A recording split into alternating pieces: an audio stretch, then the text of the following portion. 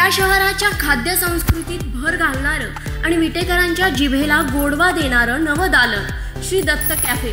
आमच्याकडे coffee bhel chaat burger Maggi व शेकच्या फॅमिली पॅकसह विविध डिशेस उपलब्ध. खास चवीचे व स्वादिष्ट पदार्थ असलेले श्री दत्त कॅफे. आजच आणि आत्ताच भेट द्या. आमचा पत्ता मणवंदिर हॉस्पिटलच्या समोर कराड रोड विटा.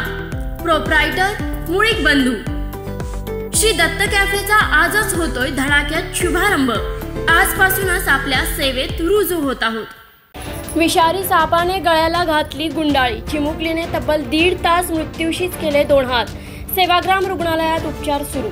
अकरा सप्टेंबर रोजी बोरखेडी येथे रात्रीच्या दरम्यान चिमुकली आपल्या वडिलांसोबत खाली झोपून होती.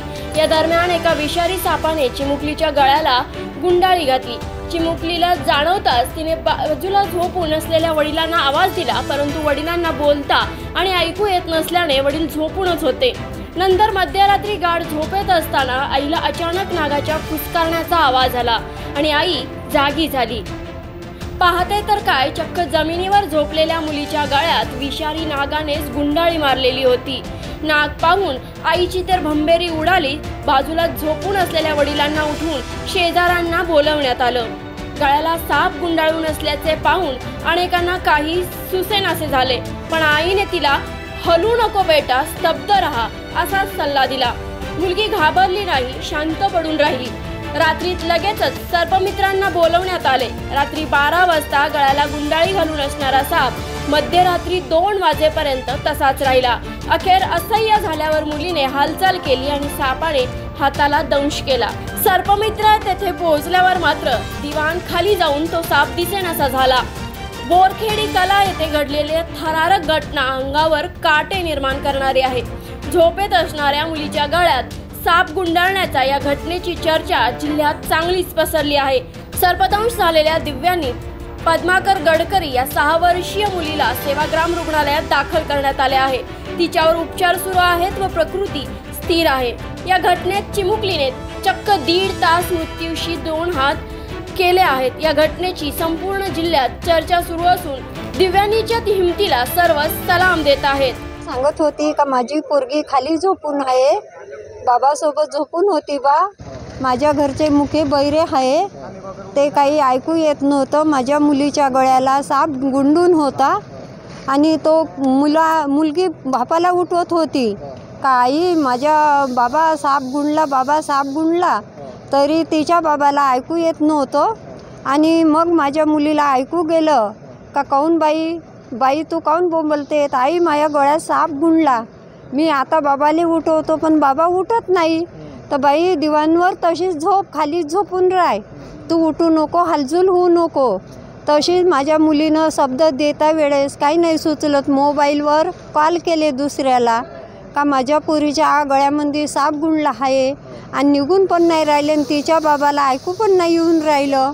तर मी का करू उपाव? तर माझ माझ्या मुलीनं फोटो पाठवले जिकडे तिकडे व्हिडिओ कॉल करून. आणि फोन करणं चालू केले तेवढ्या रात्री. तर काही लोक गाव लोक काही घरचे लोक जमा झाले. आजूबाजूचे शेजारचे लोक जमा झाले. खूप सारे लोक शे दोनशे लोक जमले पण एकाची हिंमत नाही होय तो साप काढण्याची मारण्याची. तर माझ्या मुलीनं पुरीला हे सांगितलं का दिवांशी तू अशी बोलबाई त्याच्यासोबत? का खा बापा मला?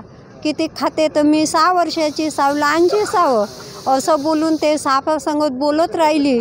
तसा तसा तो साप फाडी करून तिच्यासोबत खेळायला लागला गळ्यात अंगावर पायावर पोटावर.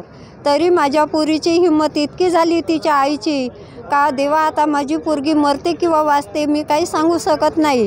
पण तू साईट मारणार ना तू साई टाळणार. जेवढं काही करायचं आहे तेवढं कर. पण माझा मुका माणूस ऐकून आज जात बोलता येत नाही तर मी पण काही करू शकत नाही. एवढं करून ते आपले जे काही न विनंती होती ते विनंती केली त्या देवाला.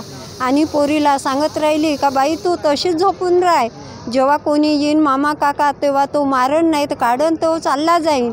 असं म्हणून माझ्या पोरीनं मला रात्रीचे अडीच वाजता फोन केला. काही दीड दोन वाजतापासून माझी दिवाणशी अशी अशी झाली. मी का करून का नाही तू येते का? मला उपाव होता नाही येण्याले. तर मी म्हणलं का बाई सकाळी सहा वाजता मी येतो तेव्हा तू जे काही होणार आहे ते करतो शेजारच्या लोकांना मदत दिली झडशी टाकळीच्या आणि त्या लोकांनी ते शाहग्रामला आणून भरती करून दिली. तसे तो मग ढोपरामध्ये गुंडून होता हातामध्ये. तो पल पलटायला गेली तो प धरणेवाले आले ना सापडला. तो चालला गेला मग पलटून पुन्हा फडी करून आल्यावर डोंस झाला ढोपराला. कुठं भरती आहे? हे शाहग्रामला भरते आहे. कशी आहे तब्येत? आत